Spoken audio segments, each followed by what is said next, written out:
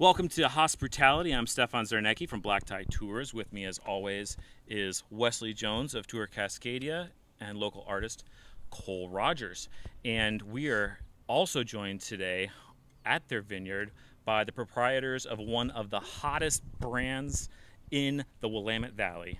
They are uh, marketing experts, actually cut their teeth in the professional world in marketing, but they uh, they got out of that. They came to this beautiful little farm here at, at the uh, the base of Chehalem Mountain to uh, to start a winery, and uh, we have Bryan and Laura of Hazelfern Cellars. Welcome, friends. Hey guys.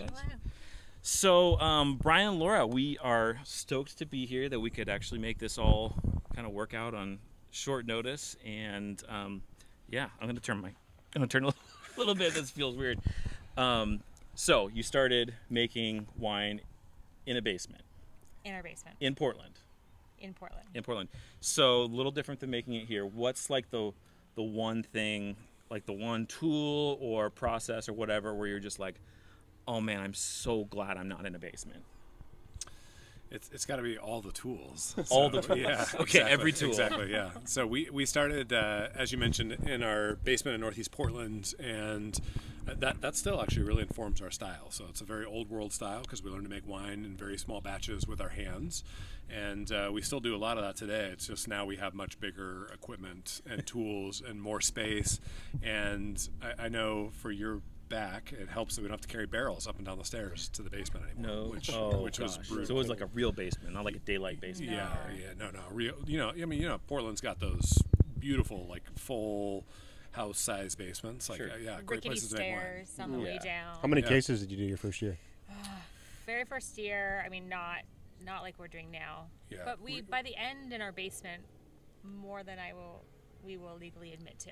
Hey, Yeah, that's right. that's that's impressive either way. A lot. we, we, sta- we started in 2006. So more than a quarter barrel. We started with a little Like quarter I barrel and then, uh, and the then fifth. several barrels. Okay. I mean, Hopefully, there's no all for OLCC watching our episodes. I don't. exactly. Yeah, that's right. personal I mean, yeah, consumption. we, we drink a lot. Personal. Oh, Personal. obviously, For- for friends. For friends. For friends. Yeah. personal Yeah, yeah, I get it. I get Yeah. it. Yeah, yeah. No, no. Um, and then you moved out here, kept working, and uh, but planted the vin. Now, did you guys plant this vineyard? We did, yeah. That's pretty awesome. Yeah, yeah. So we, we uh, you know, you guys are looking at uh, what used to be a horse property. So the winery is in a, in a real horse barn. It was built for horses as you see it. And uh, when we moved here, this was like a big horse pasture with all this fencing. And we're actually sitting where they had the, what are they called? The Horse corrals. paddocks. The paddocks, yeah, the corrals. Like I like to think it's like an old western. But uh, th- we, this is all like fenced in. It's way and- cool. It's more badass. Yeah, Yeah. I know. I'm, I'm with I'm, you. We're I'm, sitting I'm in not the like a crowd. I heard there was I don't know actually a really it's good shootout here that happened Yeah. one time. There Oh, was. you guys should make up some Absolutely. No, yeah. yeah. I saw Absolutely. both holes when I went Yeah, through. it's a tough. It's a tough spot. root Yeah. and tootin' No, town sure. of Newberg. Yeah, Yeah. yeah, that's right, exactly. Lot Hazelfern Hill. Actually, The no Battle one of would be Hazelfern Hill. surprised in Newberg. There's somebody. Yeah. yeah. But there, I do think that the uh, stable and the, the way you've kept it um, enough to, to recognize it as still a stable is really it's really cool. Yeah, it's- I mean, it's an yeah, amazing like, touch. Um, I think a lot of people would have just tore out the entire interior and just made it beautiful, but I think you've done like you've kept it sort of as it was, but then uh, made it you know a place you feel like Yeah. you taste wine and Was Yeah. that was that the intention from the beginning when you walked through the first time to Yes. maintain the structure and set it up, or was this a little bit of a disagreement? There's some looks happening. th- this was. I, wa- I was Dun, like, dun. he was like, yes, that was the total intent. I'm like, uh, it kind of happened by a happy accident. We didn't really have a plan. Hmm. We knew sort of aesthetics, what we wanted everything to look like and feel like, but then things just kind of happened as we needed them to Hmm. happen. So yeah, Where did- entrepreneurship. Yeah. Just like you, Yeah. you roll with the punches. Right? yeah, Yeah, that's right. we're like, this year we need a corral. yeah, but, but I mean, it, it, when we walked into the space, like we were living in Portland, we walked into the space, and you know, we, we knew. You guys, I mean, you're sitting here looking at some very historic vineyards here in Oregon. You know, this is Medici Vineyard, Yeah. and so I mean, we knew this was a great spot to plant the grapes. So like, mm, we Sure. knew it was good from that standpoint. Like, check. And we knew the soil was great, but it was when we walked into the barn that we were like, "Dude, this could be so People are gonna love it. sick." It's- yeah, it was just something different, like a different experience, and Yeah. that's what we fell in love with. So, How many acres of vines did you plant on this property? Uh, we have about three here. So our total property here is five acres, Okay. and uh, we've now maxed it out between the barn. Our house is back behind the barn, and then the vines. And so we work with, uh, we currently have contracts at 10 different vineyards across the valley and do a whole bunch of single vineyard stuff. And then uh, have now this vineyard online. So, and, and some unique varieties out of here too. This is uh, Pinot Noir, Gamay Noir, and Trousseau Noir is what we planted when we moved in. So, Now- yeah, doing some different stuff. I've got to be a little honest with you guys for a second. I know it's Yeah. on camera. There is some frustration because you guys are so hot. You're so cool that I'll call you up in like fall and be like, "Hey, can we bring in some people for tasting?" And you're like, "Our wine is all gone. Yeah. We can't do tastings." And it's that's that that sucks for me because I want to show you guys off because like Yeah. when I said you guys were hot, hot, hot. That's what I mean. This you you guys sell all your wine. Up and coming. That's what's been but happening, right? Yeah. Yeah, yeah. we've been, we've been super Landed, but fortunate. and That's And- and amazing. thank you to all of you guys for bringing the folks out. Yeah. Yeah. We, we appreciate that. We'll take all the credit. uh, You're welcome. yeah, yeah, absolutely. Thank you. Yeah. And uh, yes, we do. We uh, so far every year we've we've sold out by fall, and it's it's Oh, been amazing. what a dream. And uh, we're we're super blessed. We're blessed by the location. We're just right next to the Allison. That really really helps. We get a lot of literal foot traffic from the Allison. There you go. Um, yeah, I don't know. We're, we've been we pinch ourselves. We've Been very fortunate Mm-hmm. coming into the industry. As of as of now, what's your total case production? Three three thousand. thousand Okay. cases. Yeah. That's Yeah. a lot of wine to move in one year. So that, that's a big accomplishment. Thank you. Yeah. But what's new? I mean, you poured this rosé for us. Yeah. Yeah. That's this is new. what's new. This Right? is delicious. Yeah, so the- this is like yeah, the is the new. most a- anticipated wine we've ever released because there was a People are pandemic. clamoring for Yeah. it. Yeah. Yeah. So people, I mean, it's rosé is a great wine though. Yeah. People don't want to admit. People don't like to admit they love rosé. Good rosé. I love rosé. rosé. yeah. everyone Yeah. loves rosé. Yeah. Yeah, and it's it's hot today, and so that's Perfect it's time for perfect it. for, a hot day. But Yeah. we, we literally just uh, kind of quietly released this this weekend, Okay. and nor- normally we release it in like April, and this year with the pandemic, everything was just on pause, so we just never really got around to it, hmm. and so we uh, we released it quietly on summer solstice, which was Saturday, and so we, we like to pretend we did that on purpose, but really it's because we just never got around to doing Did you get angry emails from wine club members just like, it's- "Oh, it's a fucking rosé!" Yeah, like, yeah, you yeah, yeah, yeah, uh-huh. Uh-huh. basically. Mm-hmm. yeah, He didn't. I did. Okay. yeah, yeah. I feel them all. The sun's out. Give me rosé. Yeah. Um, well, and that's you know, Actually- it's been like kind of a cool, wet Yeah. May and June. Yeah. Like so, so I mean, Just it hasn't even really been summer. Yeah. So I'm glad that we have it for this week because it's like, like you said earlier, Hmm. like today it's summer. Today, it's, I mean, it was 90s today. It was hot. I It's love rosé that weather. Bryan is telling you this story, but the real story behind the rosé. Oh.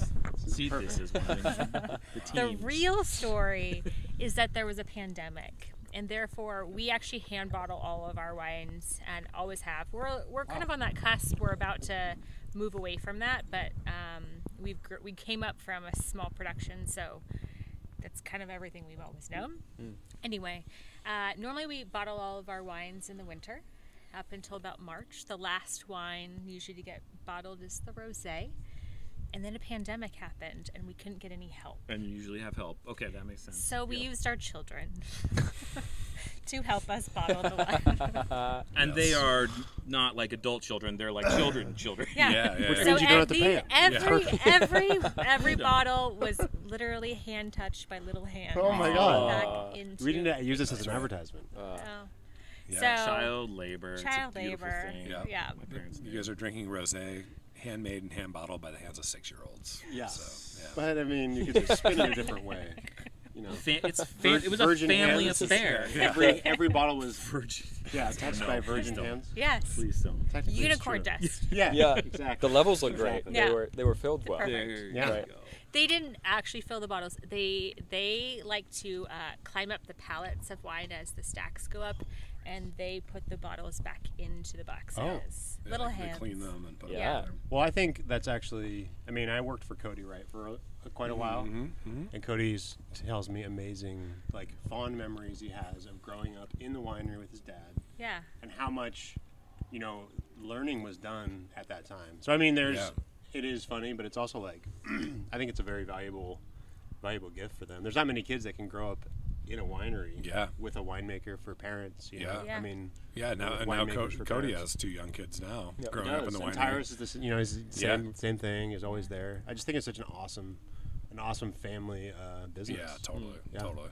So Yeah. there's there is a really neat part of that. I Yeah. mean, I think it it instills in them hard work. You get to actually see the product and the thing that your parents work hard to make.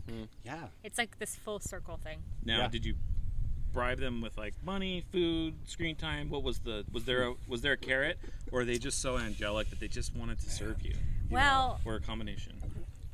Yes. Well, can I, yeah, can, it's can kind I of share a the story? yes. So they, uh, it, it used to be things like can't dessert, ice cream, you know, things like that, right? The easy stuff. That's changed though. So during the pandemic, we, we have a bunch of chickens. We have more chickens now because of this situation. We were doing the wine drive-through here at the winery, and so the girls figured out that they could sell chicken eggs, and Oh. they crushed it. So there was like a shortage on eggs in general, and then they so they started selling eggs, and I mean they they, dude, they were like literally what were like per weekend. I mean, they were making like $185 a weekend, Oh my like for like goodness, six years baller. old. So anyway, we can no longer So they bribe don't them with need you ice cream. They anymore. don't care about that. don't need you They're they're like full on like Entrepreneurs. You know, Oh, yeah. Ad- That's Adeline amazing. just says like, "Oh, can we, you know, can we sell that? You know, can we do this?" And I'm just constant everything. Do you need everything. these shoes, Dad? Can I sell them on Yeah, eBay? yeah, I know exactly. Don't sell my shoes, We child. released an animal. That's what I did. Wow. it's going into their bank accounts. Yeah. Yeah. Yeah, they Well, have That's to amazing. buy supplies.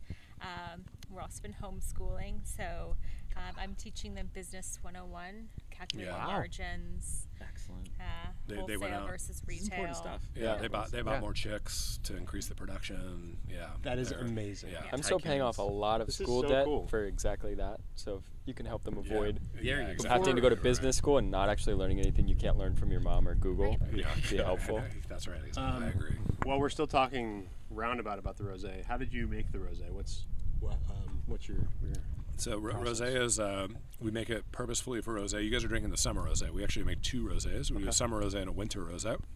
And uh, the difference is summer rosé is all stainless steel, super bright, refreshing for a hot day like today. Uh, the winter rosé, we take that same rosé base and we put it into neutral French oak barrels and we leave it there until just before Thanksgiving. Uh, just adds more savory tone to the wine, just a little bit bigger, Yeah. perfect for the holidays. But uh, this being summer, uh, what we're going for is just kind of that salty minerality. I, you know, for me, I'm not a huge fan of Pinot Noir rosé when it goes a little bit more like watermelon, Jolly Rancher, like that type of thing, which which happens a lot. Yeah. And uh, so we we've really been playing with some things. Like this year, we did some more stem inclusion, which is kind of weird for rosé. Wow.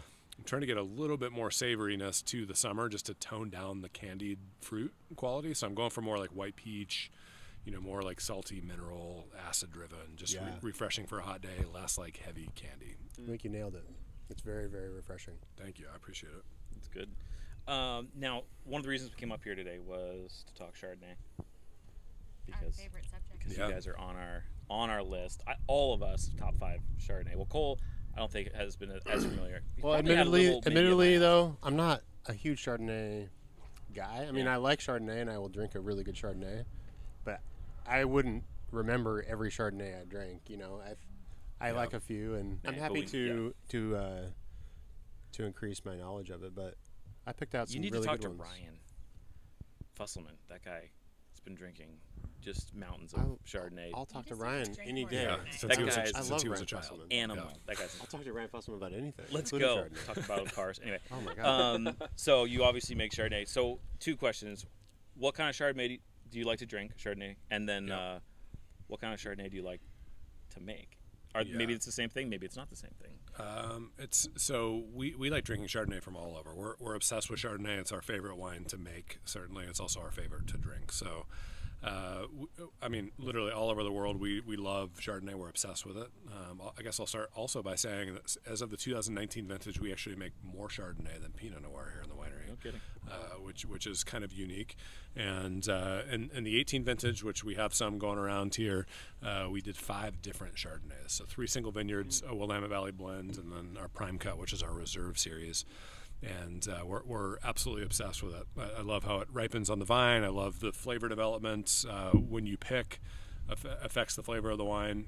And I, I also love just the fermentation of Chardonnay. It's uh, you know, it's we, we we bring it in, we press all the uh, all the grapes, and we let all that grape juice turn like muddy black, and so we're oxidizing it up front, and then it goes, uh, it kind of settles out, and then goes into the barrels, and we just let it ferment uh, just naturally in every single barrel, and so Now, the end product, would you say it leans more like Chablis style, California style, somewhere in the middle, white Burgundy? Like what? Wh- wh- white Burgundy, but not Chablis style. So a little. I mean, all of our wines are barrel fermented, barrel aged. Okay. Uh, we, we we tend to all of our vineyards actually are in the like northern northern part of the Willamette Valley.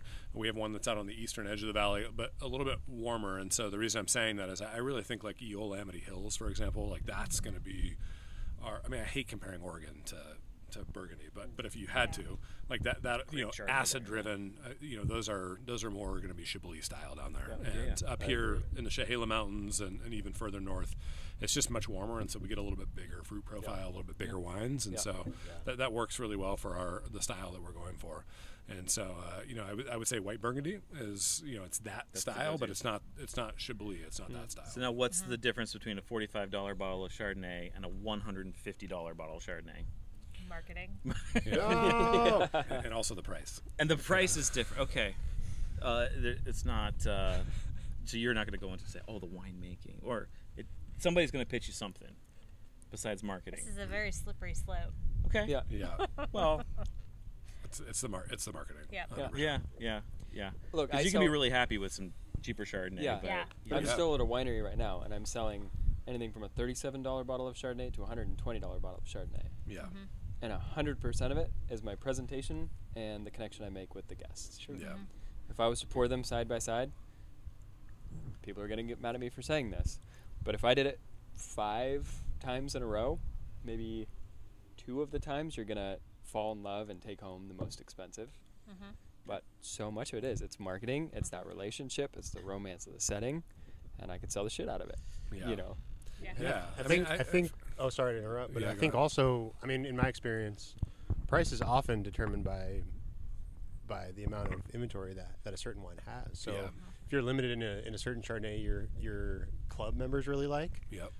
I mean, Hell if people will buy it for 150, then sell it for 150, and especially if there's Yeah. only a case or if there's only a barrel, Yep. Mm-hmm. I think that determines a lot of. I think that justifies a higher price too. Yeah. Sure, marketing helps sell those bottles, but I mean, when you're thinking of why sell it for 150, is it usually uh, does it usually include right inventory levels? Yeah. So I mean, I guess, and I'm, I'm including.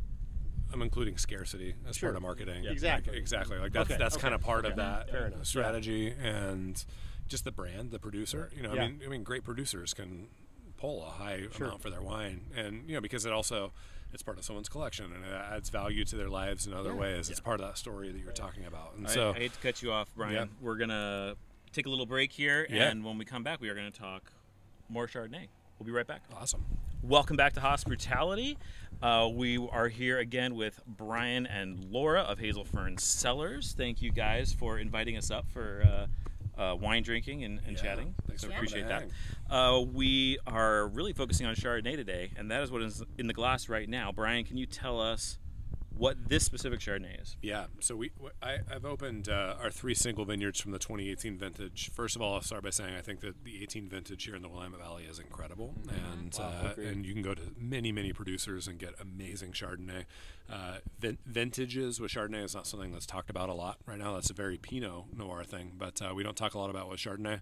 18 was incredible, so definitely seek those out. Uh, you guys have the first of three single vineyards in your glass. This is uh, Chardonnay that we call Little Hells from here in the Chehalem Mountains.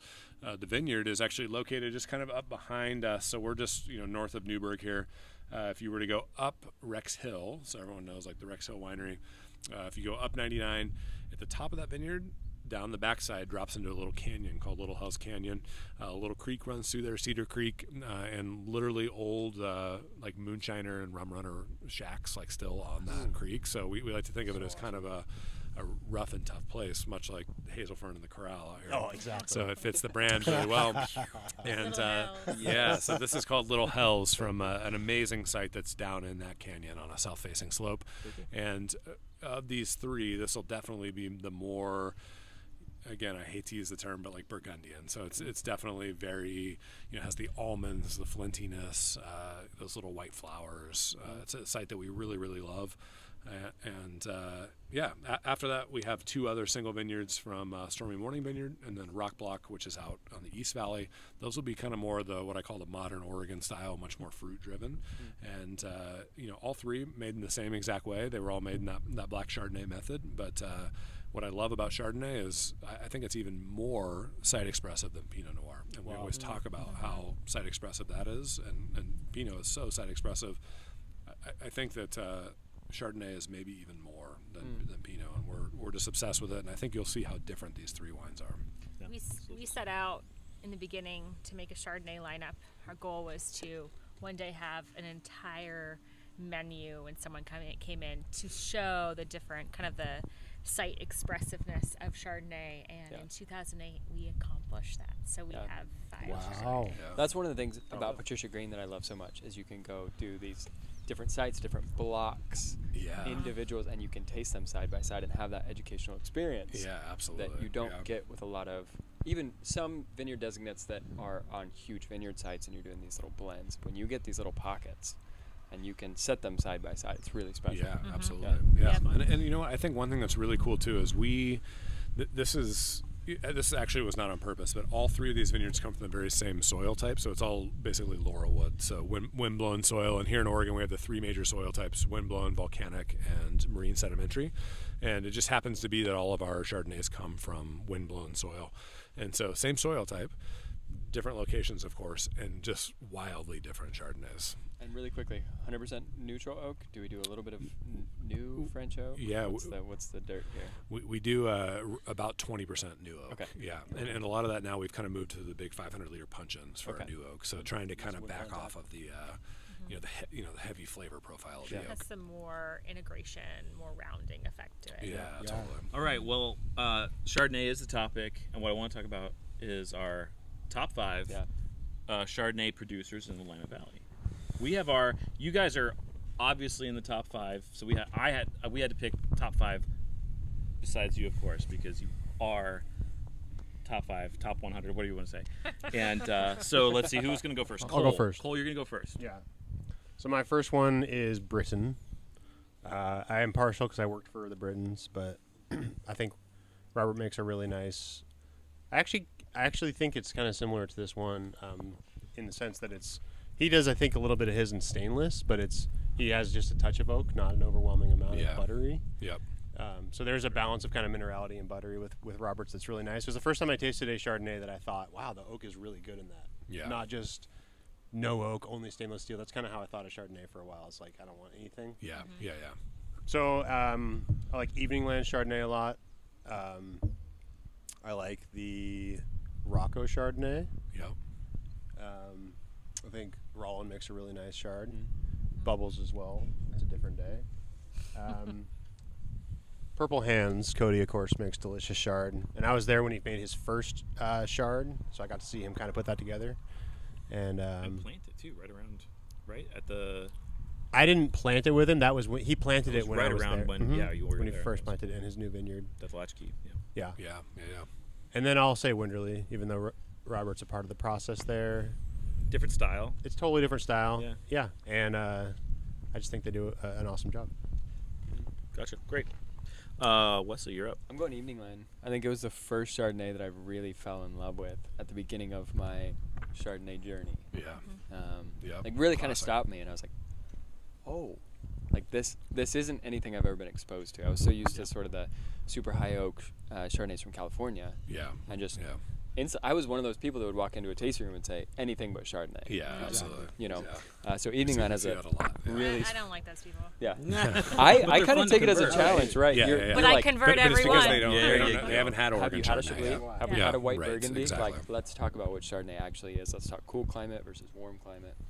Um, then Bethel Heights. I think Bethel Heights is currently what I'm drinking most Yeah. as far as my Chardonnay. Yeah. Um, Domaine Roy. I love Jared's Chardonnay. That's why I went. Well, here it is. I'm working at Domaine Roy right now. Hadn't said that on camera yet. Um, but that's why I Check us out, joined. Yeah. working yeah. with them because I, I loved his Chardonnay. Yeah. Um, Anderson family. I still have some 11s Yeah. from them, and they're. As far as this is another conversation, we don't talk about vintage a whole lot, but we also don't talk about ageability, of Ageability, it's Chardonnay. So ageable. Right. Forever. Um, Yes. And then last is going to be Antica Terra. I think Maggie's doing some pretty nice. special Strong stuff play. with Chardonnay. Strong play. Mhm. Yeah. Yeah. You guys has you guys have mentioned some good ones. Uh, Bethel Heights was a contender on my list for sure, as Yeah, was that's a. Domaine Wa. I like. Uh, I remember tasting last year at Bethel Heights and going, "Oh shit, this is really good!" Like, and they were really distinct. The two, I think I just tasted two of theirs, and they were they were both really good. Uh, my list: uh, Walter Scott. Love those guys. I mean, they just are standard bearers I think, in Yep. the valley, um, and are, are just killing it down there with sight and style and um, great people. Totally agree. Uh, Evening Land's been mentioned, Double Zero. Yep. Uh, expensive, but they're good. They're really, really good. I like those wines. The wines. Pinot's good too. The Yeah. Pinot's good Yeah. too. Um, but yeah, every Chardonnay I've had, I've been like, God, that's really Yeah. good. So can't begrudge them the price. Um, Nope. EIEIO. Yeah. Uh, Jay makes a variety of Chardonnays, um, some single vineyards. Uh, oh shoot, Saffron. No, Yates Conwell Chardonnay in particular. I Mm. really love of his. He does some nice stuff. Yeah. Um, and then Lingua Franca. Yeah. They're Solid do, they're kicking some ass down there, um, and really dedicating Yeah. a lot of time to their Chardonnay program. Talk about two vineyard sites next to each other that are just gorgeous. Yeah. You have Evening Land, Seven Springs, and then you've got their new you Yeah. know, property right there. Now, what about you guys? What would what would you add to the list? Who would you say maybe um, have, have inspired you in your Chardonnay yeah, journey? absolutely. Uh, I mean, I think you guys have named several of them. Yeah. I, I think Walter Scott deserves a shout out for really uh, being Inspiring being us. yeah inspiring us for sure. Super focused on Chardonnay. You know, they're uh, you know I, th- I think you can probably count on your hands how many people have, are doing multiple Chardonnays and, and really have that study in Chardonnay. And uh, and certainly Walter Scott is, is someone that inspires us a lot. Um, Lingua Franca, we love. Uh, Double Zero, I, I love because I, mean I love that they're doing that same you know the, the black style of Chardonnay method that we do. So I mean, always have looked to those wines. Um, I, I'm gonna I'm gonna throw some uh, some new ones out as well uh, that we, that we haven't mentioned yet. But uh, Morgan Long, I think so. Seth yeah. Morgan Long makes some great Chardonnays. Man, they've just had a Pinot of his. I think. Okay, yeah, yeah, yeah, yeah. I'll get the industry party anyway. Yeah, yeah, absolutely. So, uh, yeah, Seth Morgan Long. I think we have to mention another winery that does uh, multiple Chardonnays. Big Table Farm is Yeah. usually kind of Oh, in that, in that discussion as well. And uh, and and then I'm going to go some Best you know urban, urban guys as well. So I'm going to add Vincent. I, I really like his Chardonnay and uh, Division, the folks at Division Okay. uh, down in Portland uh, do do a one of the first Chardonnays that we fell in love with back when we were making wine in our basement in Portland was uh, was Division. They, they've uh, affected a lot of kind of the the treatment of oak that we do. So someone that's inspired us as well. Very cool. Laura? My some my list is a compilation of all of you. Um, you know, hands down for me, it's um, Walter Scott, Lingua Franca. Um, you know, I would give a shout out to Bergstrom. Yeah, that was a contender. Um, You know, that's definitely inspired some of our direction. Um, Big Table Farm. Yeah. Definitely heard that one. Um, yeah. I think that uh, I really like what um, Grant Grant Coulter is making for like Flaneur Yep. Yeah. um, and his style. Do they have a Chardonnay in the Hundred Suns I don't label? I don't think that I've tasted Just a anything. Flaneur, I think. Yeah. I haven't, Yeah, yeah. I haven't seen one a hundred times. Which is why I said Flaneur, but Yeah. I love really all of Grant Grant's and Renee's wines. But I would put it in my list. Is that five? Yeah, like, Yeah. I don't know, something like that. That's a good list. Yeah. Yeah. It's good. I, th- I think Yeah. it's it's amazing. Like even just in this conversation, I'm realizing I think that what the thing that made me really fall in love with Pinot was the terroir driven, nerdy, like uh, the the change that you get from vineyard site to vineyard site, and how much more it has to do with like geology and Yeah. and site than it does have to do with winemaking or anything. I just, for some reason, that idea of tasting the history of the earth was this amazing thing for me. That I love history. I love thinking Yeah. about the ground that was here millions of years ago. Yep. So thinking of Chardonnay in that way, and how you're saying it's so site specific, Yep. it ages well. It changes the whole idea for Chardonnay, of Chardonnay for me. Honestly, it's amazing. Yeah. Some of my favorite Chardonnays are ones that have been aging for 15 years. Wow. I think that I think that that's something for me that no one really. I just I don't think we have the libraries yet. Yeah. How's I your think- library? I think they're Are you guys stashing wine away for not just for you to drink, but for Yeah. customers down the road, or We so uh huh. Hey, this has come Yeah, up yeah, a few yeah. times this week. And can we be on the email list? Yeah, Uh, right. we, So we have started a library. Um, we're excited about it. Very cool. We're doing a much better job of it. There were some growing pains yeah. So that I mean, affected the library. our, our first couple vintages. The, the problem is is that uh, you know you mentioned earlier like we tend to run out of wine by the fall, and so we have usually heat holds. Like you know people we have a lot of guests that come from like Texas, for example, and they'll come and. Uh, I don't know if I should admit that we're really bad at this, but we're bad at like keeping track of all of those orders throughout the summer. And so we get to the fall, and it's like time to ship all the heat holds, and we never had a library for like er- early on, and so we've we've gotten much better at it. But uh, and, and purposely, like we want to age these Chardonnays. But like for example, like 2015, that was our first vintage of Chardonnay. I have one bottle of that that I had to buy back from a retailer in Portland. Like literally, I walked in and it was on their shelf, and I was like, I will buy that because we have none in our cellar. No kidding. And So so, and so I'd love to open it, but I'm like, No, uh, no, man. I I was like, when do we open the one so bottle? back to Yeah. that's going for a thousand dollars. no, we're gonna we, we- we're gonna drink that one. Or wine. fifteen thousand. So who wants to buy it Not first? No, it's got to pay for at least like a trip to Cabo or something. Yeah, Like, yeah, like, you're gonna sell that one. That's Yeah. that's a big. But one. that's, I mean, people. That's something that I don't think people understand how hard it is to sell wine. And then, in, in when you do have, like for instance, what you're talking about, where you're you're trying to balance orders that have already been sold, and then you you, you know maybe you have in mind we're going to keep like se- seven or eight cases. Mm-hmm. Yeah. But then you have a packed tasting room, and it's like, okay, that wine's hot. Let's mm-hmm. just sell a case. Yeah. I mean, it, it's so hard, especially in like your position where you're managing your inventory, you're doing mm-hmm. all these hats, wearing all these Yeah. hats. Yeah. Um, it's really easy to not have a library, especially in your first couple of years. I don't think many many wineries do. yeah. yeah. And Thanks for recognizing that. I'm Yeah. just I appreciate that. yeah. I was. Because I've never the been in your culprit position. was I've- me. yeah. Well, no, it's, I've been the, I've been in that position with with managing a tasting room where I kind of thought I had in mind how much we had mm-hmm. left, but right. but stuff goes really quick, and Yeah. maybe I'm not like looking at w- w- OrderPort or whatever you know POS you're using and Yeah. checking inventory throughout the day. Yeah. Yeah. Then pretty soon it's like, oh my god, we have six bottles of. Yeah, you check 14. OWS and you actually didn't have any. Exactly, library. or the Yeah, wine's not on site. Right. You think you have more at the cellar, but yeah, exactly. But Yeah. it's It happens It- a lot. And it's it's happening right now on our, our very first uh, wine from the property right here. So we, we literally picked all the grapes. So Pinot, this is not Chardonnay, but Pinot, Gamay, Trousseau. We blended, we like co-fermented and blended one wine called Noir. And uh, that was our very first release in the 18 vintage, and it, it completely pre-sold, so it was was sold out on futures, and you know we, we make wine to share. Like it was never supposed to be this weird like allocated thing, and so this is ha- literally happening. People come here like last weekend and they're like, "Oh, hey, you know, I was talking to so and so, and you know, do you have like one bottle of Noir?" And, and I'm like, "Yeah, like we got, we could do one bottle out of our collection, you know." And I keep running down to our cellar, library and now we have like less than a case of our very first wine Oh. for he the have a property. problem with But being it's just like- disliked? does he really like being liked? Does this? No, I- actually, I think it's actually it's usually always me. Um, that it's like, oh, I think we have like a bottle of that, and you know, but now I'm like militant. Nope, it's gone. I know, but uh, so But I, I am like, has I'm taken like, on that oh. role now. Good cop, You're bad cop. And in my mind, I'm like, oh my gosh, we have really less than a case. They're And then like we, nice. yeah, we talk, and then I'm like, okay, maybe I could do like one bottle, you know. Oh. But I oh. keep doing that like every weekend, and that case is just getting smaller and smaller. right. Just shrink. And I don't even know. I mean, the door if you want to be if you want to be a billionaire, Bryan, you're gonna have to be more of an asshole in your Yeah, life. I know. I'm not. I'm not good at Just be saying no. cold. Yeah. He's really good at saying no to me, though. He's Well- like, no, you can't do that. Yeah. Repetition Just is the pretend sod of learning. it's on the internet. Yeah. All right, well, we got to take a little break. We will be back in just a moment with what's brutal and what's beautiful, and of course, story time with Cole. So we'll be right back.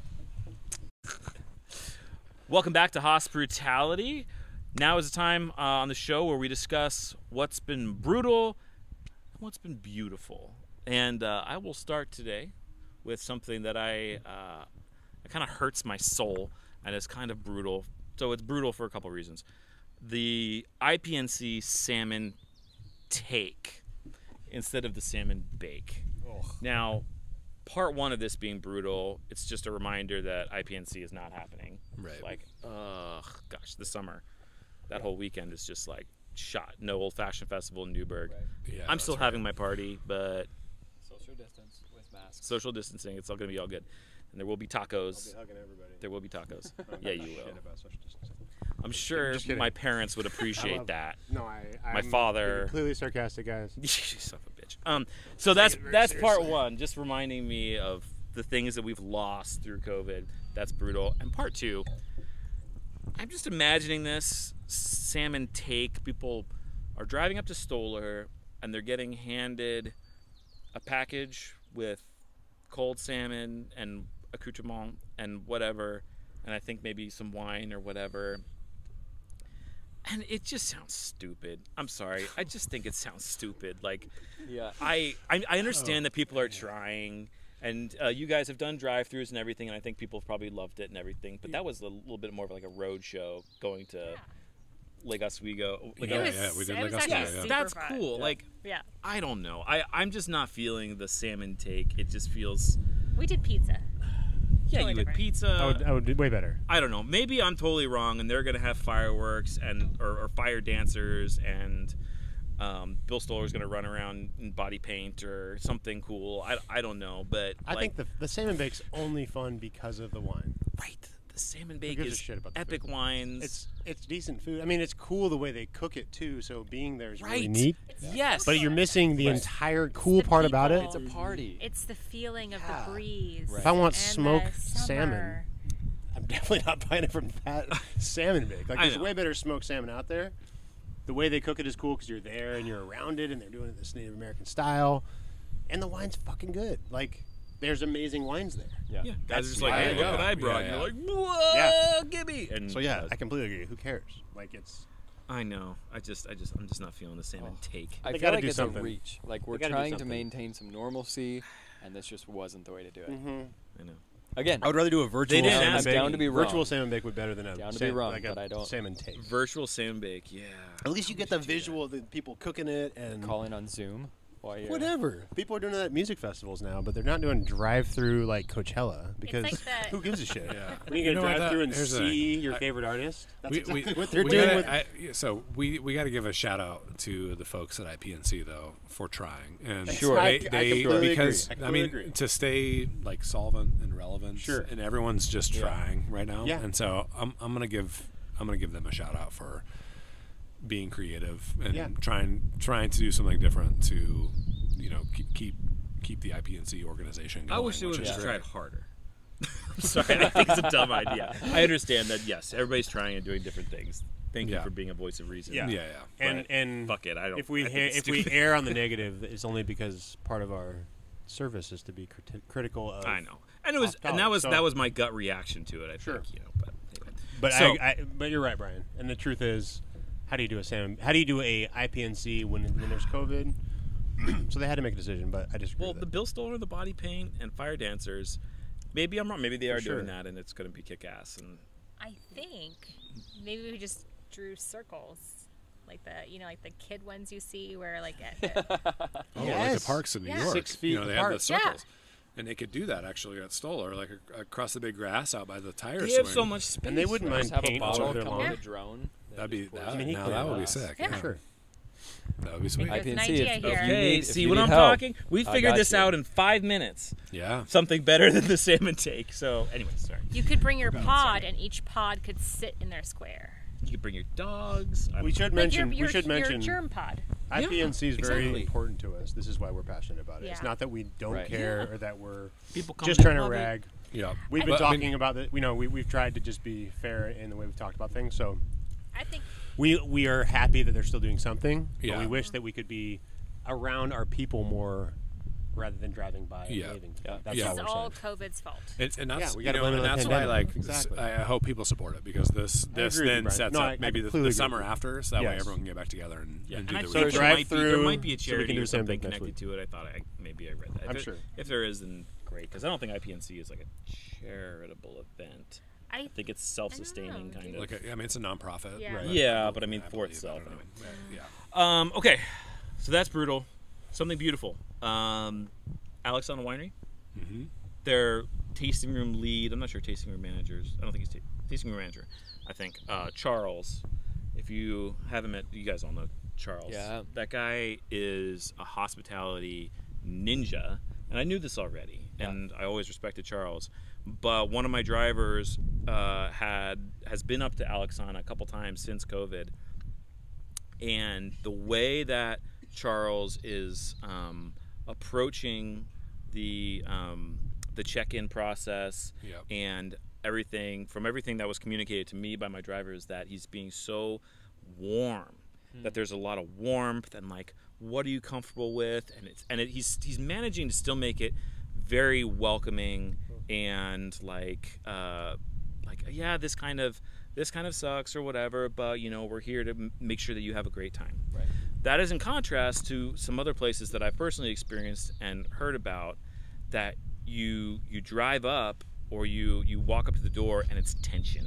Yeah, People yeah. are stressed out. You can Yeah. tell they're trying to follow the protocols and they're and and and the whole thing with between the masks and the check-in and the pre-pourings and everything is like uptight and there people are just uncomfortable Uh, and the guests just can feel that. Yeah.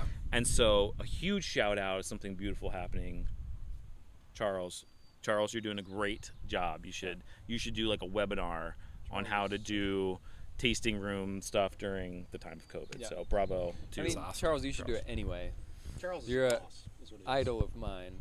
I mean, Charles was one of the guys that when I started in the the driving business with you, Stefan, I would go to Alexana and I would watch Charles, the way he handled tables, the way he made relationships. Smooth. He is one of those guys that you can literally mimic everything he does, and you will come out a better host and a better person. Right? There isn't anything Charles has done in my experience that's been I think he's a great subpar. listener. Right. It's part of what makes him so great. Like he and I can he he pauses before responding Yeah. to the guests. I notice that a lot. It's just a and it's something maybe he does naturally or maybe someone taught him at some point. But yeah, he can he's Yeah. Yeah, he's the Well, he's, he's I mean, and he's, an inten- he's intentional about what he does. I think I had a similar experience with Charles when I first started with Cody at Purple Hands, talking to him about the profession of you know running a tasting room, managing a winery, and he's done it a long time. And I think not many people take that job as seriously as say you know a accountant would take their job because you have a lot of people that have high turnover and Yeah. and so somebody like Charles, he's an ama- he's a really rare person in the industry because he's he truly loves what he does, and he also is like constantly trying to get better at it. And I think, I mean, it shows. Obviously, I noticed it Yeah, immediately when I met him, and we all, I think, when we go to Alexana, feel like you could I could send a guest to Alexana and 100 percent know that like they're going to be taken care of. Yep. Yep. It's awesome. Yeah, Um and was it beautiful or brutal? it's beautiful. beautiful. We Go can ahead. count. We can count it both, but I think it's beautiful. There was an article that came out this week about essentially the bullshit of expert tasters. So all of these high-end parties that are these tasting events that happen where wines get rated by one particular person that apparently has this amazing palate. Well, when you're tasting wines over and over and over, we all know that you're, you have palate fatigue. And so what they did was they did sort of a controlled study, figuring out if one person rated a wine, say at an 86, how likely were they to come back to that same wine and rate it as a 90 or a 94, which are sort of the three median scores that often are given? And it was basically 90% of these people were unable to distinguish between an 86 to a 94. So they figured out basically, and one of these award winning tasters even admitted that they just get lucky and that these these sort of scores are essentially given on a random basis because they can't say that's definitely a 94 if they can't even say it's a 94 when they go back and try it two minutes later. Yeah. So the summary of this article was basically that, you know, it's w- wine tasting. It can't be left up to this one expert who apparently has a better palate and better, you know, taste than all of us. Wine is not a you know uh, objective thing where you can look at the data and say, okay, this one's clearly better than the other. It's it's subjective, and we've all known this. Everybody in the industry all knows this. Yep. Uh, I'm sure Wesley has some is- some feelings on the it. I'm sure both of you do. So this was in the, Guar- in the Guardian this week. Guardian. All right. Yeah.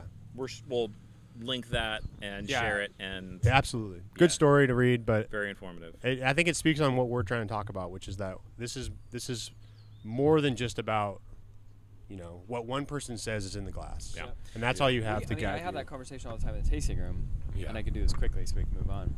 But there's, I tell folks, especially if it's if they're new to it, there's Right. two kinds of wine. There's wine you like, and there's wine you don't like. Mm-hmm. Right? Let's have a conversation about what you enjoy. Let's break down why you enjoy certain things more than others, and let's get to know your palate. Right?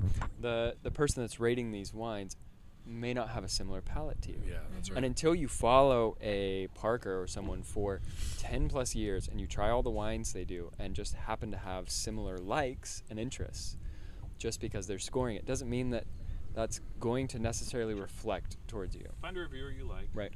I had a lady in the tasting Yeah. room that leaned over to her husband because he was all high and mighty. He's like, ah, you, you have a 94, man. And she goes, honey, what have I told you? Don't be a score whore. That's awesome. That's, my- but that's the thing. I took it away. Scores are great Right. for sales, though. Right. Yeah. Yeah. Yeah. But Makes, makes my job easy. anyway. Yeah. Uh, we've got about seven or so minutes left, and it is uh, my favorite segment of the podcast, and that is story time with Cole. So, uh, Wow. All right. Cole, take it away. Well, luckily I luckily I went on a date this week, so I had a story to tell. Um, Let's do it. and luckily it wasn't perfect, so the story's even better. This last week, I went out with a girl. I was, I was telling uh on the story last week that I've been trying to kind of like stay away from dating just because, a, it's kind of weird right now with COVID. It's hard to like. I'm not just gonna, or I prefer not to just have somebody over to my house or go to their house for the first time. Right. And uh, We uh, we actually had a first meetup of a first date here Oh, in the White House. oh no, like an online Okay. dating meet. Yes. Oh shit. Okay. We're gonna have story time with you afterward. Yeah, that's. So this was an online. This is an online deal. I'm leaving work, and this pretty girl, um, she works at Intel. So I'm like, all right, like she's got her shit together. I'll try it. I'll, I'll meet her up. So we go get a beer, and or excuse me, we got a coffee. So we're sitting there drinking coffee, and I'm not digging it. But I, but we we we were talking. It was great. It was like fine, But I wasn't like waiting to leave. I just This is good. I was not. in- some. Yeah, yeah. I was not interested, like romantically. But I, Trying to leave. well, okay. Immediately. I wanted to leave, but I was like, and the conversation was was decent enough, and she was a she was an enjoyable person, but I was certainly not interested in her romantically. So I'm like, oh, like you know, I'm super tired. Like I keep yawning or whatever, and That's the go-to. but I'm like it's signaling I'm gonna leave pretty soon, and then then she's she's like, oh, yeah, no, I, you worked all day, like you came straight here from work. So I'm like, okay, yeah, I better get going. So I go out to my car, and she's like parked not far from me, but I'm like, well, I'll walk you to your car. Said goodbye to her, walked back to my car, and I'm like, ah, I, w- I really wanted to get a, a pint at this uh, this little like tasting room thing and or this brewery, excuse me. So I'm like, God, I shouldn't, but I'm just gonna get a beer. It's, it was beautiful. I was like on this lake. I'm like, all right. So I wait like three minutes because I'm like, she's probably gone yet. Oh, Go in. Oh, you guys no. know what This guy. happens. This Oh, guy. no. I go in. I'm sitting next to another girl, talking to her, drinking this beer. Two minutes later, or three or four minutes later, and I and I look up, and she's walking down this like pathway along the lake. totally locks eyes with me, and I just gave her like a "What's up?" and she just kept walking, didn't say a single thing. Oh, I was petrified. I felt so bad. You should. But she was really nice. Just not interested. So yeah, that was my awkward date of the week. That's fantastic. Yeah, it was not really actually. It was horrible. No. It's funny now for all of us. At Yeah, the time, is. I was thinking it's going to be funny at some point, but it's not funny right now. Classical. Yeah. All right. On that note, thank you for joining us on HosBrutality. We uh, would love to thank our guests today, Laura and Bryan Yes. of Hazelferns Thank you so Cellars. much. It was Yeah, really awesome. coming. Yeah, Yeah. appreciate you guys. It's been wonderful. Thank you for sharing your Chardonnay and your Rosé. Once again, I'm Stefan Zernecki of Black Tie Tours, Wesley Jones, Tour Cascadia, and local artist Cole Rogers. We should get some of your art on. We should just like have, I'm, I'm or just wear share. a shirt that's maybe printed in your art. We need to do something to fund all Or your a hat. miserable dates. or my mugs. Yes.